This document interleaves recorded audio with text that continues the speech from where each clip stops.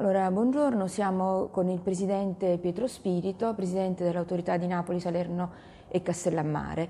Eh, vorremmo fare un bilancio con lei di questi primi quattro anni, diciamo, quali sono per lei i successi, lei, le, le, iniziative che lei annovera tra i successi, quali sono invece le difficoltà che lei ha trovato e perché?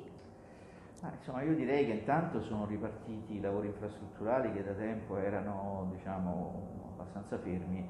È stata collaudata la, la colmata della dazione di Levante che, a Napoli che ha consentito poi di realizzare i dragaggi nel porto di Napoli. Poi sono per essere conclusi anche e, si, e finiranno a marzo del 2021 i lavori dei dragaggi nel porto di Salerno eh, e sono ripartiti tutta una serie di cantieri importanti eh, che sono i collegamenti stradali e autostradali sia a Napoli sia a Salerno, che sono molto rilevanti per ridurre il grado di congestione eh, all'interno dei porti, eh, è partito l'allungamento del molo di sovrafflutto a Salerno e si è conclusa la progettazione del, del, dell'allungamento eh, del molo di sovraflutto anche a Napoli e poi sarà ovviamente realizzato.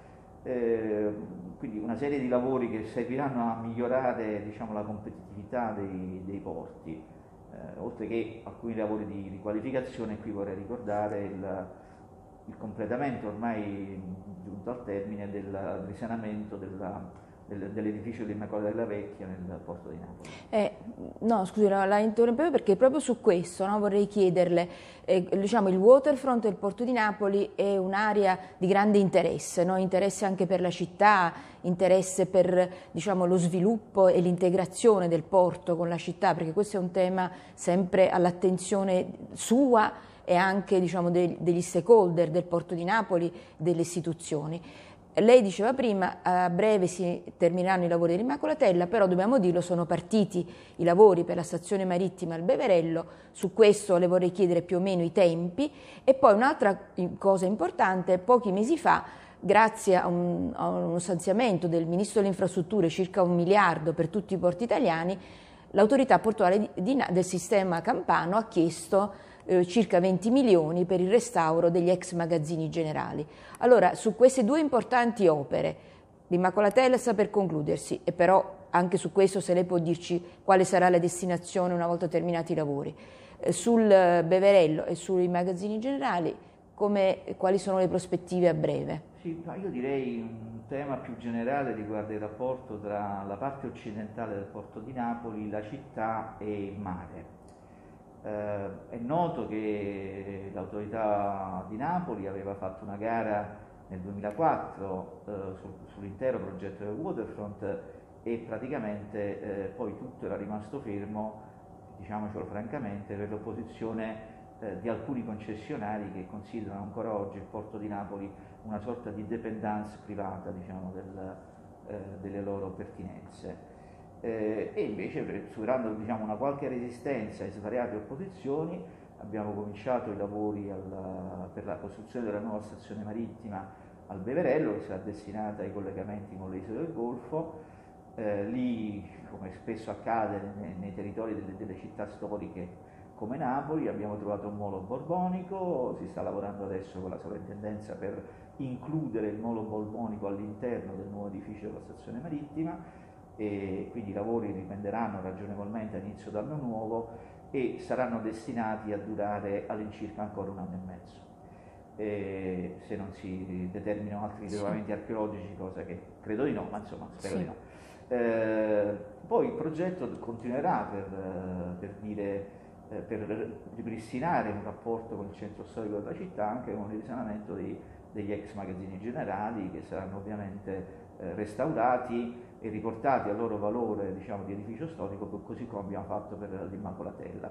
L'Immacolatella sarà assegnata in concessione, per il momento abbiamo due proposte presentate mm. dalla Università Partenope e dall'Università Federico II, vedremo in queste settimane, nei prossimi mesi, eh, quale sarà la proposta che è più diciamo, convincente dal punto di vista della coerenza con ovviamente la marittimità che rappresenta il porto di Napoli e poi dopo ovviamente sarà assegnata. Diciamo. Quello che abbiamo deciso è che comunque quel luogo deve essere un luogo di cultura, quindi destinato al, a un rapporto diverso tra cultura, marittimità e città.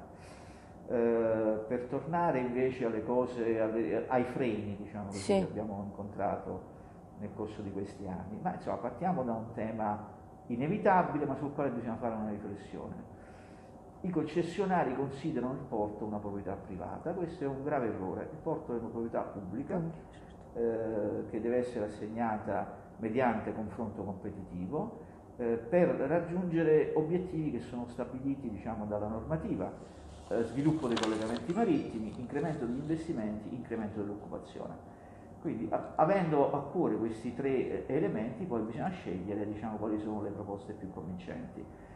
Eh, la cultura del confronto competitivo non è una cultura che sta nella mentalità italiana. Quando si parla nei convegni tutti dicono che il mercato deve prevalere, quando si tratta di toccare gli interessi ovviamente il mercato diventa il nemico e l'obiettivo è quello di mantenere rendite di posizione, quindi c'è una sorta di feudalesimo portuale che ancora è prevalente e che deve essere superata. Se un porto eh, diventa competitivo ed è, ed è, capace di attirare nuovi operatori, quello è il porto che cresce. Eh, la, la, la, logica nostra del dire eh, ma io sono qua come concessionario da 80 anni è esattamente la logica che non si può diciamo, concepire eh, in un porto che vuole essere un porto del futuro nessun concessionario a Rotterdam o ad Anversa comincerebbe una discussione così, partendo dal, dagli 80 anni nei quali sta presente nel porto. Diciamo. Ragionevolmente lì si pensa a quello che succede nel futuro, non a quello che è successo nel passato.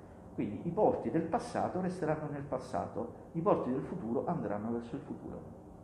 Grazie, io però volevo, prima di chiudere insomma, la nostra intervista, noi comunque abbiamo eh, i porti di Salerno e di Castellammare che sono importanti ovviamente, Salerno come lei diceva prima sono partiti lavori importanti per il dragaggio, per il, la, la, diga foranea, sono interventi in corso. Noi, la Galleria Porta La Galleria Porta Ovest che è stata un'opera anche, è un'opera molto complessa, quindi per quanto riguarda Salerno, a che punto siamo e qual è la prospettiva anche lì di medio termine, Beh, insomma, Salerno, di trasformazione dico, del porto. Salerno, completati i dragaggi, che parliamo di pochi mesi, che parliamo del marzo del 2021, sì. e realizzato entro l'anno l'allungamento della, della, della, della diga foranea, eh, raggiungerà un livello di competitività molto elevato. Per Salerno ci sono due altri punti importanti. Eh, c'è eh, il percorso che dobbiamo ancora, diciamo, ovviamente eh, seguire di realizzazione della, uh, del terminal multipiano per il traffico delle automobili, un progetto uh, del gruppo Grimandi, diciamo, hanno presentato la domanda pochi, pochi, mesi fa, dobbiamo aspettare anche lì il parere della sovrintendenza, quindi siamo a questo punto, e del comune di Salerno, ottenuti questi due pareri, poi ovviamente noi procederemo per consolidare un segmento di traffico che per il porto di Salerno è molto importante. Poi il porto di Salerno è un porto molto qualificato per le autostrade del mare. Pensate che nell'ultimo triennio il porto sì. di Salerno è cresciuto del 24% nel, nel traffico per le autostrade del mare, che invece è un punto di debolezza del porto di Napoli, perché l'unico segmento di mercato nel porto di Napoli prima della pandemia ha registrato invece un segno meno, meno 7%. Anche qui vi è una ragione specifica il porto di Napoli è un porto poco aperto alla concorrenza, diciamo così, e sostanzialmente sono due le compagnie che operano sulle autostrade del mare, GNV e Tirrenia. Sì. È noto che purtroppo Tirrenia è in una situazione di grave crisi e quindi noi abbiamo, diciamo così, seguito la parabola discendente di Tirrenia. È ovvio che di buon senso aprire ad, altro, ad altri operatori le autostrade del mare per il porto di Napoli è una delle chiavi di lettura per garantire uno sviluppo. Anche qua però bisogna registrare che le resistenze all'apertura del mercato della autostrada del mare nel porto di Napoli sono state in questi anni radicali, perché ovviamente ci si accontenta di tutelare il segno meno invece di inseguire il segno più. E poi il compito dell'autorità è quello di diciamo, lavorare per il segno più, eh, penso che occorrerà ancora insistere per aumentare il grado di concorrenza sulle autostrade del mare.